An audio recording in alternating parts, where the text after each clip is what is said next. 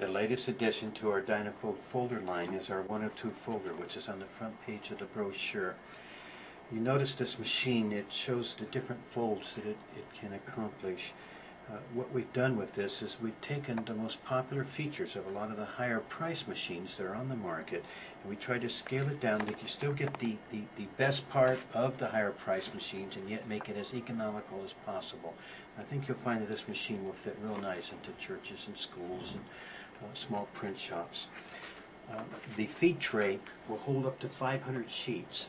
You can actually take a full ream of paper and drop it in to the feed tray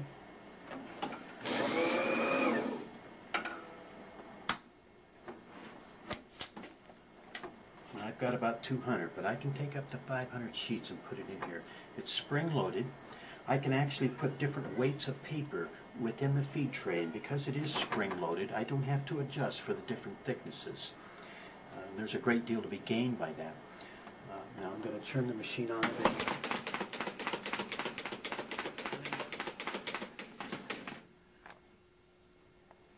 Now I've set it, I've set it for a Z fold.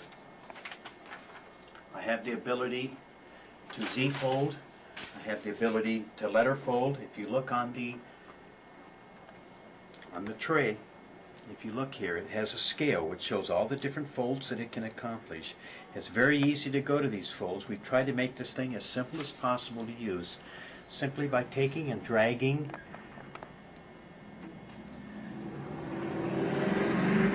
by taking and dragging the paper stops which are on the tray you can move to the appropriate number which is indicated on the scale.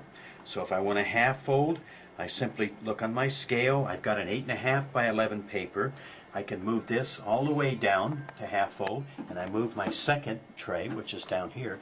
I move it to the letter M and what that'll do is accomplish a half fold. If you'd like to see how easy it's done watch me. I'm going to move this all the way down. Let's take this paper out.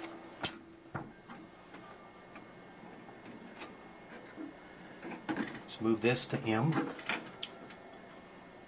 the letter M, because I'm using 8.5 by 11, and that's what's on my scale. Move this to M here. Move this to M.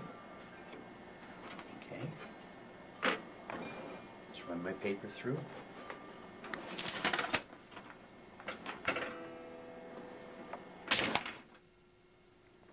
Now I just got through Z folding, so let me move all this paper around.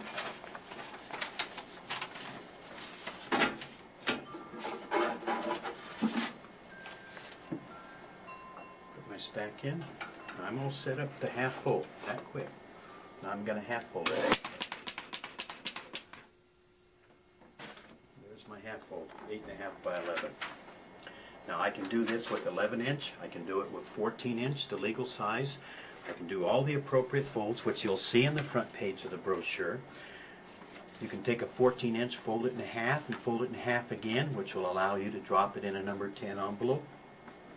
So it's quite versatile, this machine, and the cost is what makes it so so attractive, because my cost is literally under $1,000 retail, uh, which should make it, it's, it's lightweight, easy to use, and I think you'll find it a good, uh, a good addition to any office.